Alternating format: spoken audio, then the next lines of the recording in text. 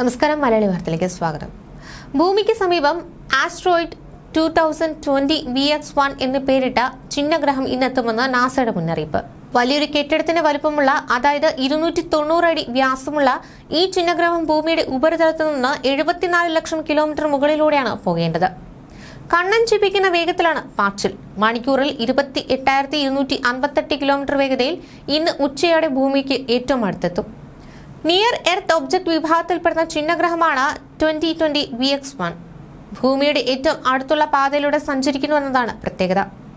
ഈ ചിഹ്നഗ്രഹം തൽക്കാലം ഭൂമിക്ക് ഒരു ഭീഷണിയല്ലെങ്കിലും നാസ അടക്കമുള്ള നിരീക്ഷണ കേന്ദ്രങ്ങൾ അതീവ ജാഗ്രതയോടെ നിരീക്ഷണം തുടരും. ഇവയുടെ സഞ്ചാരപാതയിൽ എന്തെങ്കിലും മാറ്റമുണ്ടായാൽ അത് ചിലപ്പോൾ ഭൂമിക്ക് ഭീഷണിയായി മാറിയേക്കാം അഥവാ ഭൂമിയിലേക്ക് പതിച്ചേക്കാം. ഈ ചിഹ്നഗ്രഹത്തിന്റെ വലിപ്പം ഭൂമിക്ക് ഭീഷണിയാകുന്ന അത്രയില്ല.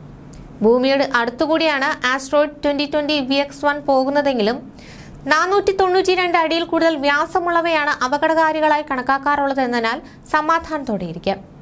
ട്വന്റി ട്വന്റി വി എക്സ് വണ്ണിന് ഇരുന്നൂറ്റി തൊണ്ണൂറ് അടി മാത്രമാണ് വ്യാസം. എന്നാൽ ഇതുൾപ്പെടെ എല്ലാത്തരം ചിഹ്നഗ്രഹങ്ങളെയും ശാസ്ത്രലോകം നിരീക്ഷിക്കുന്നുണ്ട്.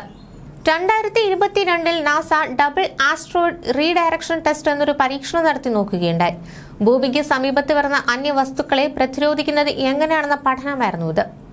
ഭൂമിയുമായി കൂട്ടിയിടിക്കാൻ സാധ്യതയുള്ള ഒരു ചിഹ്നഗ്രഹത്തെ ഏതെങ്കിലും അന്യവസ്തു കൊണ്ട് ഇടിപ്പിച്ചാൽ വഴിമാറിപ്പോകുമോ എന്നറിയാനുള്ള ദൗത്യമായിരുന്നു ഇത്. ഡിമോർഫോസ് എന്ന ചിഹ്നഗ്രഹമായാണ് കൂട്ടിയിടിപ്പിച്ചത്. ഡിഡിമോസ് എന്ന വലിയ ചിഹ്നഗ്രഹത്തെ ചുറ്റുന്ന ചെറിയ ഒരു ആസ്ട്രോയിഡ് ആയതിനാലാണ് ഡിമോർഫോസിനെ പരീക്ഷണത്തിന് തെരഞ്ഞെടുത്തത്. മണിക്കൂറിൽ ഇരുപത്തിരണ്ടായിരത്തി അഞ്ഞൂറ് കിലോമീറ്റർ വേഗതയിൽ ഡിമോർഫോസിനെ നാസയുടെ ബഹിരാകാശ പേടകം പോയി ഇടിച്ചു.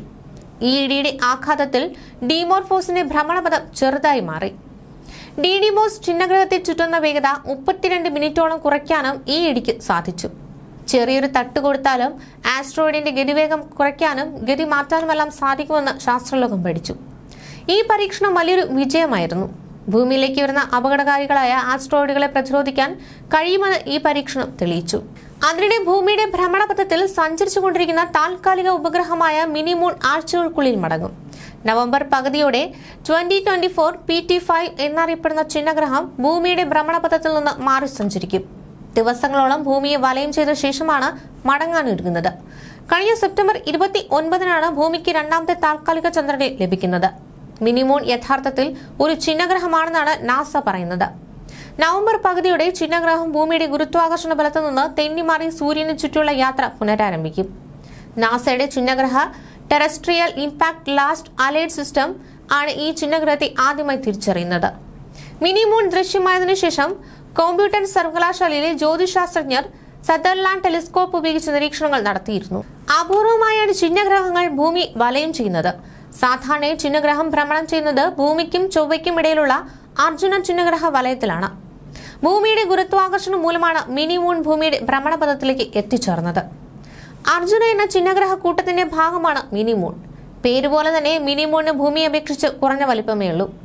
മുപ്പത്തിനാലായിരത്തി എഴുപത്തിനാല് ദശാംശം എട്ട് കിലോമീറ്റർ വ്യാസമുള്ള ചന്ദ്രനുമായി താരതമ്യപ്പെടുത്തുമ്പോൾ മിനിമൂണിന് ഏകദേശം പത്ത് മീറ്റർ വ്യാസമാണ് ഉള്ളത്. കുറഞ്ഞത് മുപ്പത് ഇഞ്ച് വ്യാസമുള്ള ദൂരദർശിനി ഉപയോഗിച്ചാൽ മാത്രമേ മിനി മൂൺ നമ്മൾക്ക് ദൃശ്യമാകൂ. ഒരു ചിഹ്നഗ്രഹം എന്നാൽ പോലും മിനി മൂൺ ഭൂമിക്ക് യാതൊരു ദോഷവും ഉണ്ടാക്കുന്നില്ല. ന്യൂസ് ഡെസ്ക് മലയാളി വാർത്ത.